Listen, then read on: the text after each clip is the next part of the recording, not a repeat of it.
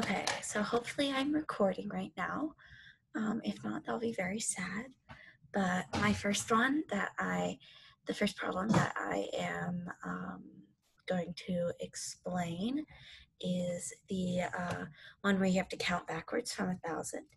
Um, and after uh, Miss Phelps explained it, I realized how silly my mistakes were.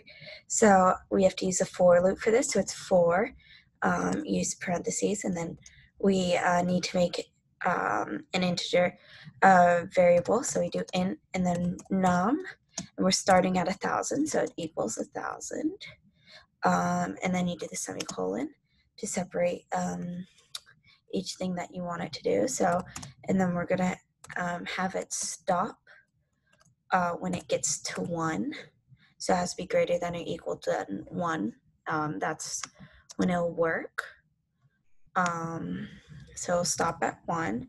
And then we do num minus minus, which is the same as the plus plus um, that you do if you were adding variables or numbers. Uh, and then we just do uh, system dot out dot print num and then another curly brace and that should be it. So if I were to um, compile oh I need to save file so I'll save that yes.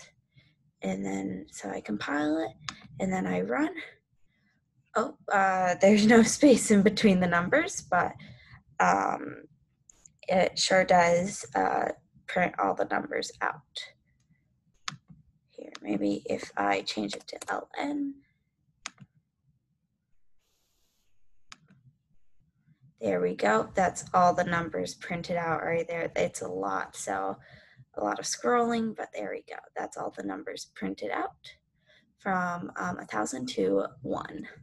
As you can see at the very bottom in one second there is the number one and it stopped right there since we um, made made it so that um, it will only print out if the number is greater than or equal to one. Um, and yeah, it's pretty simple, not too hard.